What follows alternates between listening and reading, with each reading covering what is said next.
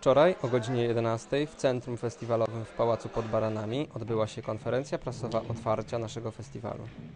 Mamy m.in. filmy z RPA, z Kostaryki, z Czech, z Rumunii, z Austrii i z Polski, więc miejmy nadzieję, że każdy znajdzie coś dla siebie. O godzinie 15 w kinie Kijów Centrum można było obejrzeć najnowszy obraz jednego z najbardziej znanych i niepokornych twórców niezależnego kina amerykańskiego Toda Solonca. Jego filmy zawsze niepokoiły i dzieliły odbiorców na całym świecie. Ceremonia otwarcia trzeciej edycji OFF plus Kamera odbyła się o godzinie 19 w kinie Kijów Centrum.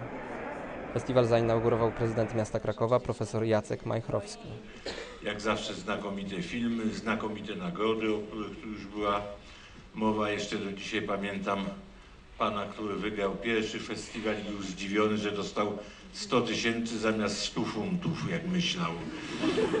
Co roku staramy się dobierać filmy tak, żeby były o człowieku, przedstawiały zawsze jakąś historię, bo zawsze za historią jest reżyser, osoba, która opowiada te historie i one są pełne życia, to są trudne filmy, ale to są też filmy wesołe.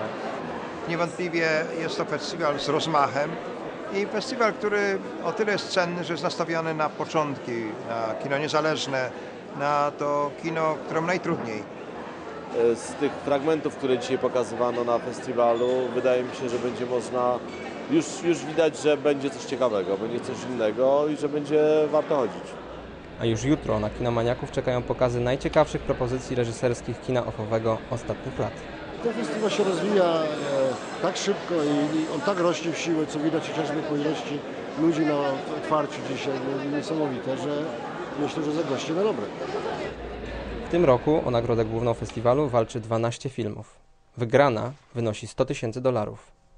Dust to film Maxa Jacobiego. Jak informują napisy początkowe, mamy do czynienia z rzeczywistością po bliżej nieokreślonej katastrofie, kiedy większość przedstawicieli rasy ludzkiej zniknęła z powierzchni Ziemi.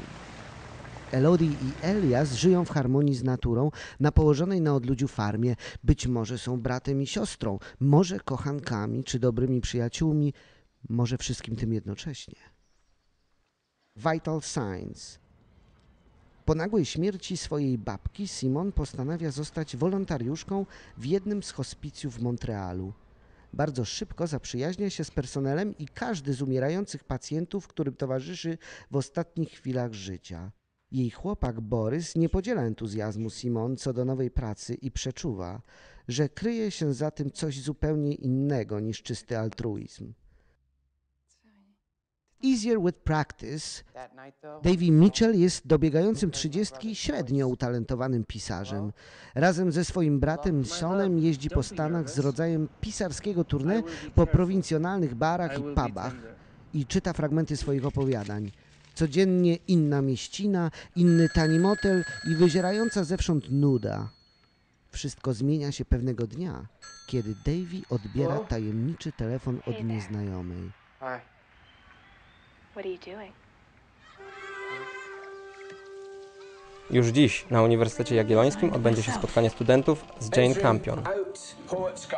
Jutro premiera jej filmu Jaśniejsza od gwiazd.